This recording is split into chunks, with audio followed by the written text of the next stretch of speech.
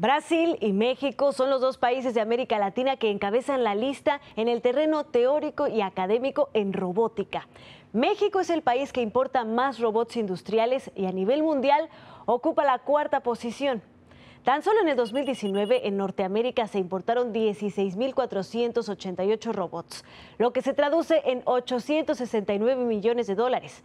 De esta cifra, 3.676 los adquirió México. En el ámbito escolar, México también ha destacado en competencias mundiales de robótica. Pero, ¿cómo se preparan?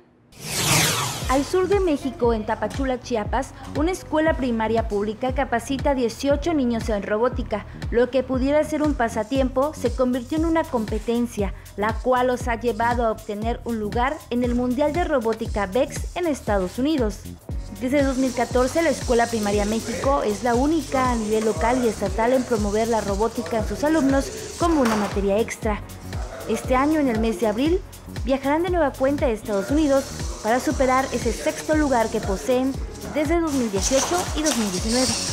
Un equipo de, está conformado cerca de entre 3 y 4 alumnos, donde están dos que manejan, uno que construye y uno que programa. De bitácora donde tienen que utilizar todo este o anotar todos los datos que van haciendo los niños y aparte del juego aquí los chicos tienen que presentarlo con los jueces allá en las competencias y tienen que exponer ante los jueces todo lo que llevaron, todo lo que hicieron y acerca de eso les dan los premios a los niños.